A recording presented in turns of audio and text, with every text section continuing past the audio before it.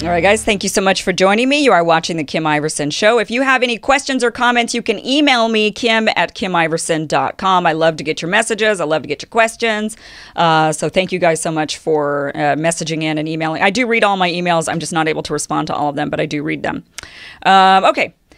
Nancy Pelosi says that she has the votes to impeach Trump Let's go ahead and go over this. This is a Politico article here saying that the House to vote Wednesday as Pelosi gets the votes to impeach Trump.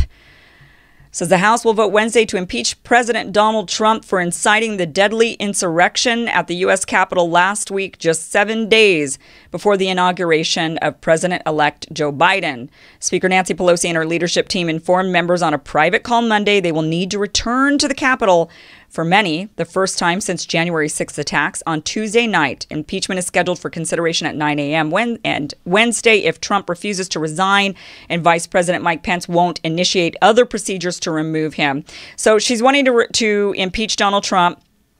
And, you know, it is absolutely within her right to pursue impeachment. That is the, the power of Congress. When we look at this, that, you know, these are three equal but separate branches of government, but they are equal branches of government.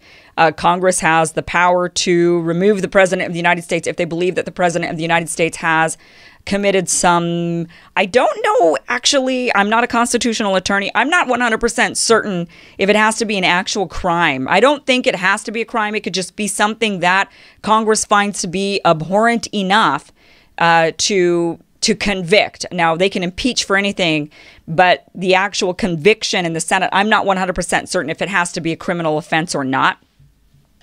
But she has the right to impeach. So this will be round two of the impeachment. We've all kind of been through this before, so I think the novelty of it has worn off. We all know what this means. It means that they will most likely impeach him.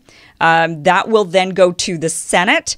Then the big question is because this is where it becomes unprecedented is will the Senate then, which of course the Senate will take this up because it's now Democrat controlled, and will the Senate convict? Now, in order to convict, the Senate needs to see, I believe, a two thirds majority would need to vote to convict him of the crimes. There would have to be a trial, uh, and they would have to then go through that process, and two thirds. So you would have to get quite a few Republicans on board.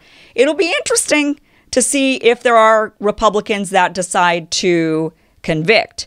Um, with him no longer being president of the United States, it'll be really interesting if they feel like he still has political sway and power and how much do their supporters their base it's not even really about trump it's about their base how much of do they think that their base is going to be turned off by their vote if they say yes we're going to convict him but let's first of all talk, talk about why she wants to convict or why she wants to impeach. Now, she says that he incited violence. Now, this is where it gets really important. I want you to pay really close attention to this because this also affects all of us and it affects our ability to protest and the words we use when we protest. She says he incited violence that led to Wednesday. I want to read to you the quote of what Donald Trump said at the actual event that he spoke at before the protesters headed over to the Capitol building, he said, now, and this is what they're saying is the problem, is that he says, you know, we got to be strong. And, and uh, so he says, quote, we're going to walk down anyone you want, but I think right here we're going to walk down to the Capitol and we're going to cheer on our brave senators and congressmen and women. And we're probably not going to be cheering on, cheering so much for some of them because you'll never, so this is what they say is the issue, because you'll never take back our country with weakness. You have to show strength and you have to be strong. We have come to demand that Congress do the right thing and only count the electors who have been lawfully slated. Lawfully slated. But then he says, I know that everyone here will soon be marching over to the Capitol building to peacefully and patriotically make your voices heard. So they're honing in. Now, I whenever I'm reading the news, I'm never hearing that last sentence that he says in that exact same paragraph. This wasn't like later on. This was in that same bunch of words. He said, I know that everyone here will soon be marching over to the Capitol building to peacefully and patriotically make your voices heard. So they're honing in on, I never hear that in the news. I only hear in the news uh, that because you'll never take back our country with weakness, and you have to show strength and you have to be strong. And they don't like those words, and they felt like those words were the words that would incite the violence. Uh, I look, you can hate Trump all you want, but you cannot allow your hatred to blind you. I don't hear anything in these words that say, uh, bring your zip ties and your ice picks and break into the building and and don't allow the vote to happen at all. And if they do we're going to take it by force. We're going to ensure forcefully we're going to go in there. You know we're going to uh, and actually plans to invade the Capitol building and plans to forcefully stop our democracy. I'm not hearing that in these words. Now, if people take words and they interpret them in a certain way, I don't think I don't know how we can, as a society who wants to continue to have protests at the Capitol building or anywhere in D.C. for that matter, or anywhere around any government officials ever again. Uh, I don't know how we can say, well, because he was the president of the United States, his words mean more, and therefore, even though he didn't directly call for violence, he uh, because he was uh, lying about the election and he was claiming fraud and he was uh, saying all of these things, citing that you know he was robbed and he won by a landslide because he said all these things. That was the problem, and that led to him inciting violence. Now. I don't agree that that incited violence. I do think you could maybe impeach him for not accepting the results of the election if that's an impeachable offense. I mean, if you want to have that conversation, I'd have to think about that and whether or not I would even agree with that. But, you know, maybe there's other things to impeach him over in this. But I don't know if you could say because he incited violence. I'm not seeing any words that incite violence. Now, if you want to say it's because he said, you'll never take back our country with weakness, you have to show strength, you have to be strong. I would like to know does this mean going forward that we're not going to be able to use certain words such as fight and force? Are we not going to be able to use these words when we decide to protest our political leaders in the future? Will we not be able to say things like fight racism? Will we not be able to say things like push for climate change, for climate action? Are we not going to be able to say take back our government from those corporate oligarchs? Or how about force the vote for Medicare for all? Will we not be able to use these words because they will come back at us and say, these words are violent words, and now somebody actually went and they forcefully um, they they actually pushed the some a member of the squad. You know, they went and they did something aggressive, and that was because Jimmy Dore said force the vote. Is that? Do we really want to go down that road where we say, if you say aggressive, violent words such as fight, push, take back, force, that this is inciting violence. So, first of all, I don't think they can make the case that he incited violence this way. I even think with him coming out saying, and they said, well, how dare he? He, you know, did it again. This is kind of what happened in Charlottesville. He did it again, where he came out and he said, you know, there's good people on both sides. And he did it again by saying, I love you, go home, you're special, you're very special people, I love you, go home and they accuse him of somehow that I don't know how you could say that. I don't know how you could twist that in your mind to say that that is somehow violent speak. You know, him saying we love you, you're special, go home.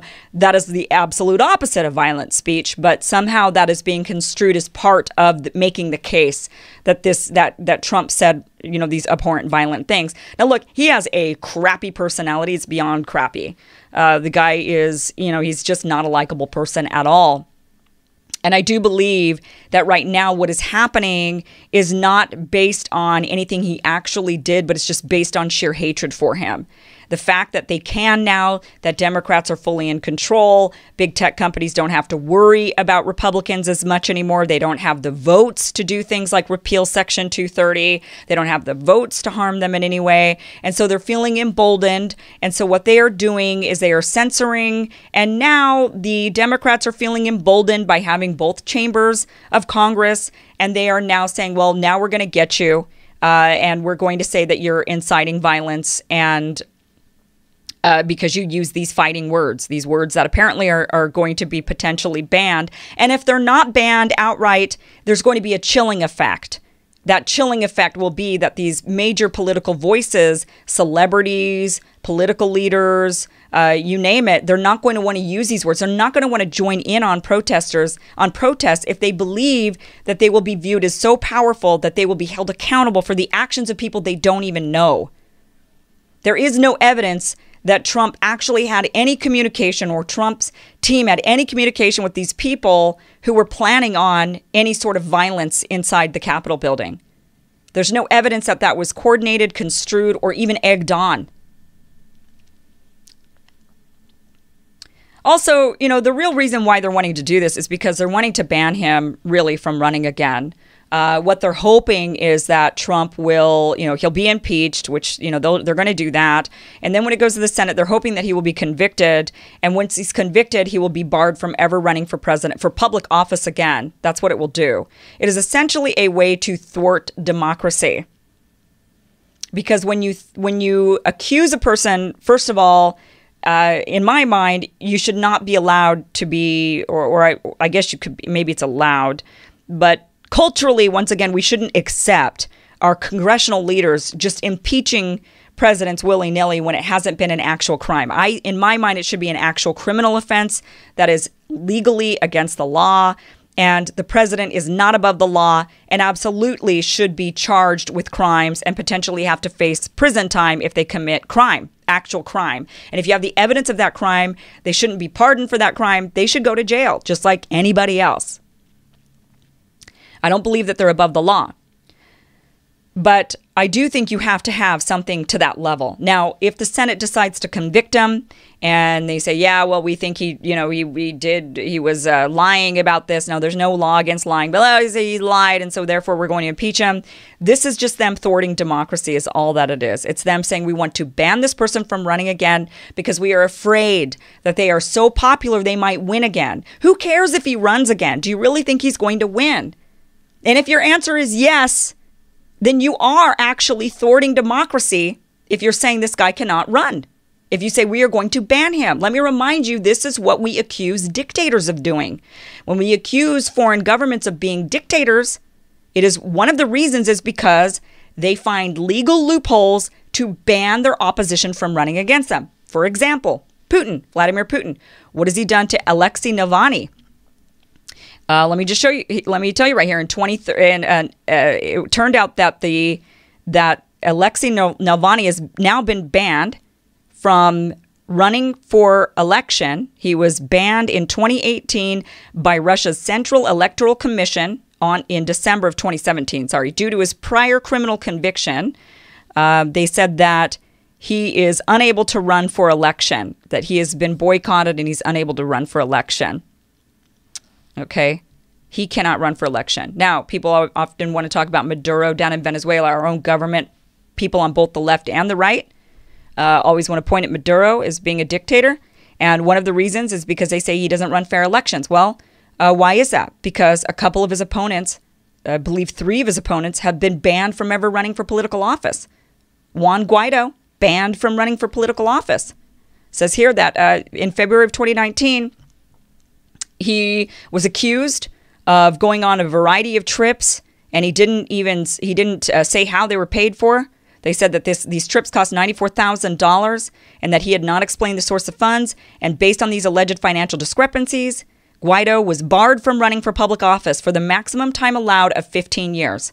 So he's not allowed to run against uh, against Maduro for fifteen years. Uh, Leopoldo Lopez and Henrique Capriles have also been prohibited from holding office by the Maduro administration on similar pretexts. This is what, when we say somebody, now, you know, again, those of you who've seen my coverage on Venezuela, hold your thoughts. If you're thinking, oh my gosh, Cam, you're buying into these establishment narratives, don't go down that road. I'm just using an example right now of what people in our government, the very people who are wanting to ban Trump from ever running for office again, those people are the same people who point at Putin and Maduro and they say, the, these people are dictators because they banned their opponents, their political opponents, from running for office. And now they are here wanting to do the same thing. So, the way democracy should work is we, the people, should decide. If we don't want Trump to ever hold office again, we will not vote for him. That's the way it should work. Should he be charged with crimes if he's committed them? Yes. Should he be prosecuted to the full extent of the law if he's committed crimes? Yes. That has to be proven in a court of law. But yes, if he's committed crimes, he should be. And at that point, if he's committed crimes and he's convicted legally, I don't believe he is eligible if he's if he's convicted of certain crimes forever running office for running for office. I, I think there are actually limitations on convicted criminals. So, uh, you know, she's going to impeach. That's within her right. I don't I, I I do believe that this will be used against us. However, when they say incited violence, it goes back to these words. They're going to say, well, then no one's allowed to use these words, apparently, or at least the precedent will be set that you cannot use these words. That's where the, the impeachment becomes dangerous if they're picking the wrong reason for impeachment. And if it goes to the Senate and he ends up being convicted, it is and it's not because of an actual crime that has been committed that he could be thrown in jail for, then it is just an attempt to thwart democracy. That is my take on that.